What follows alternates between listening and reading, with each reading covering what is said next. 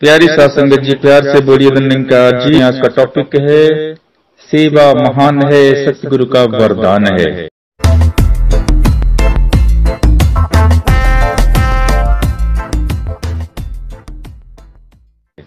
प्यारी सासंगत जी सतगुरु जब खुश होते हैं तब हमें सेवा देते हैं। और सेवा सबसे महान हुआ करती है। और ये सतगुरु का वरदान है। सदगुरु अपने सेवक को सेवा का वरदान देते हैं। सेवा का जज्बा जोश जुनून उत्साह। जिसके मन में होता है वो सच्चे सेवक हुआ करते हैं। संत सेवा की मूर्ति होते हैं। संत मानवता के सच्चे सेवक होते हैं। सतगुरु के रूप होते हैं। संतों के घट से निरंकार साकार होता है। संतों की सेवा बन जाए सेवा मांगो दाता यही वरदान। जो संतों की सेवा करते हैं, वो महान संत होते हैं। सेवादारों की सेवा सबसे महान है। संत सिपाही, सेवादार कभी चैन से नहीं बैठते।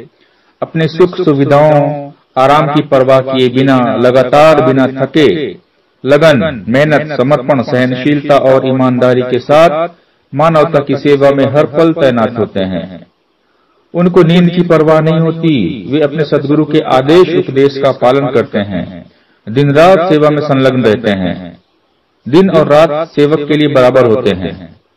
हर पल सेवा का जज्बा जुनून जोश उत्साह सेवक के अंदर कूट कूट कर भरा होता है। समर्पण ही सेवक का जीवन है। सतगुरु के प्रति संपूर्ण समर्पण होता है एक सेवक का। सच्चे सतगुरु के सेवक के मन में फल की कोई चाहना कामना नहीं होती इच्छा नहीं होती। सच्चे सेवक हनुमान जी की तरह हमेशा सेवा में तत्पर तैनात होते हैं। सेवक का रास्ता स्वयं काल मौत भी नहीं रोक सकती। सेवक आप निरंकार होता है। निरंकार सेवक के घर से प्रकट हो जाता है और खुद सेवा करता है। दास का ये निजी अनुभव है सेवा के बारे में। हमें केवल सतवचन करना है। गुरु वचनों पे सेवा अपने आप हो जाती है। अगर हम गुरु वचनों को मानते हैं, सतवचन करते हैं तो सेवाएँ फिर अपने आप संपन्न हो जाती हैं। सतगुरु स्वयं सेवा करते हैं। सेवक नींद, मौत और काल को जीत लेता है। काल सेवक के वश में आ जाता है। सेवक आप निरंकार है। सारे सुखों की खान सेवा, सतगुरु का है वरदान सेवा, है महान सेवा। सेवा निश्चल हो और निष्काम हो। ये न सोचे कि मेरा नाम हो। सेवा करते हैं जो सुख पाते हैं वो। सारे दुखों पे विराम सेवा है महान सेवा। सारे सुखों की खान सेवा सतगुर का है वरदान सेवा। सेवा। समझे नहीं मजबूरी। सेवा मन से हो तन से पूरी। इसमें मान नहीं अभिमान नहीं। निरीक्षित हो निष्काम सेवा है महान सेवा। सारे सुखों की खान सेवा सतगुरु का है वरदान सेवा। सच्चे सेवक सेवा को किसी दायरे में नहीं बांधते सेवादार सतगुरु के प्रति समर्पित गुरसिक का नाम है। जो सेवक सतगुरु की आज्ञा का पालन करते हैं वो महान सेवादार होते हैं। जो गुरसिक सदगुरु के आदेशों उपदेशों को जीवन का श्रृंगार बना लेता है सेवादार कहलाता है। सेवादार विनम्र और निमाना होता है। अपने आप को गुरु चरणों में मिटा देता है। सतगुरु ही सेवक का जीवन होता है। सतगुरु की सेवा के लिए एक सेवक हमेशा अवसर खोजता है कि कब सेवा मिले और मैं सेवा करूँ। सेवादार सदगुरु की सेवा करने को हमेशा आतुर उत्सुक होता है। सेवा भाग भाग कर करता है। सेवादार को सेवा के बिना चैन ही नहीं आता। अवतार वाणी में भी सहनशाह जी फरमाते हैं सेवक है जो मालिक का हर आज्ञा पूरी करता है। सेवक है जो मालिक का खलकत की सेवा करता है। सेवक है जो मालिक का वह नेकी से भरपूर रहे। सेवक है जो मालिक का वह कुल बदियों से दूर रहे।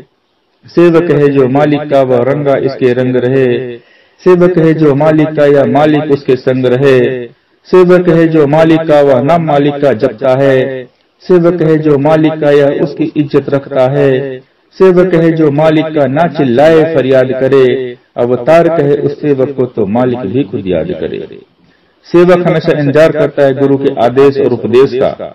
सतगुरु का जो प्यारा सेवक पाले गुरु के पाँच इकरार। सतगुरु का जो प्यारा सेवक रहे निमाना सेवादार। सतगुरु का जो प्यारा सेवक भक्तों का करता सत्कार।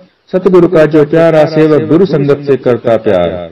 सतगुरु का जो प्यारा सेवक संतों का यश गाता है। कहे अवतार गुरु अंतर्यामी देख उसे हर्षाता है।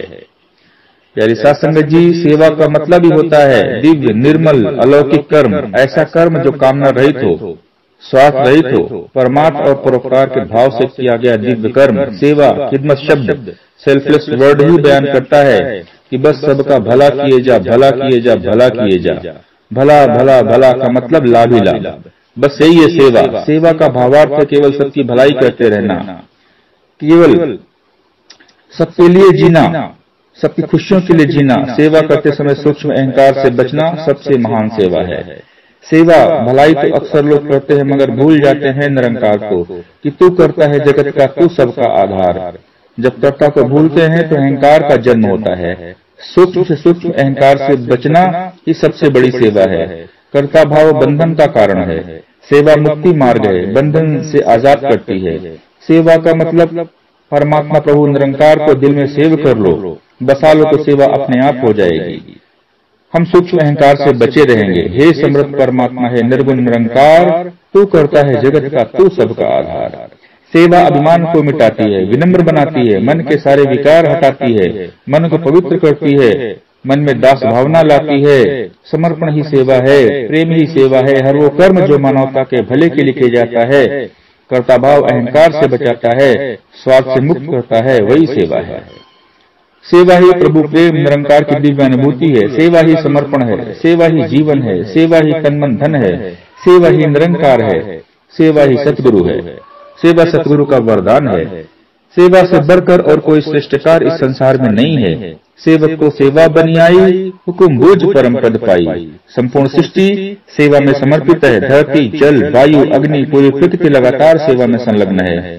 सेवा सबसे पवित्र, पुनीत, निर्मल कार्य है, जो इंसान को महान बना देती है। सदगुरु जब खुश होते हैं तो सेवा प्रदान करते हैं। सेवा का आनंद तो सेवा करने वाले ही प्राप्त करते हैं। सेवा मौज का आनंद का नाम है, सेवा की चिंगारी भीषण दुखों का विनाश कर देती है। सेवा परोपकार है किस्मत को खोल देती है, सफलता की कुंजी है, चाबी है।